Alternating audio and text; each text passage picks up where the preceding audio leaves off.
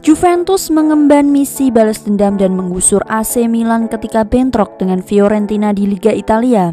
Pekan ke-33 Liga Italia 2020-2021 akan menampilkan duel antara Fiorentina dengan Juventus di Stadion Artemio Franci Minggu pukul 8 malam ini. Laga ini akan menjadi ajang balas dendam Juventus atas kekalahan di pertemuan pertama pada pekan ke-14 Liga Italia. Selain balas dendam, Juventus juga memiliki misi lain dalam laga tersebut, yaitu membidik posisi kedua yang dihuni AC Milan. Cristiano Ronaldo dan kawan-kawan yang berada di tempat keempat klasemen Liga Italia hanya terpaut satu poin dari AC Milan. Jika mampu menekuk Fiorentina, maka Juventus akan naik ke peringkat kedua dengan koleksi 68 poin.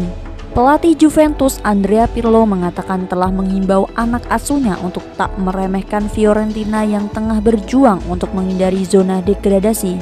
Pirlo juga mengingatkan seluruh pemainnya agar fokus untuk meraih kemenangan di laga nanti demi menjaga asa meraih tiket Liga Champions musim depan.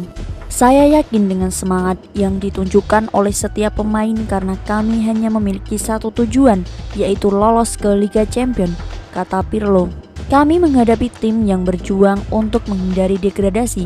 Kami menderita kekalahan pertama musim ini saat melawan Fiorentina pada bulan Desember setelah memainkan hampir seluruh pertandingan dengan 10 pemain. Kami secara alami memiliki keinginan untuk menembus diri kami melawan tim yang secara historis selalu menjadi rival Juve, tutup Andrea Pirlo. Jadi itulah informasi yang dapat kami sampaikan. Jika kalian suka video ini kalian bisa like, komen, dan share ke teman-teman kalian.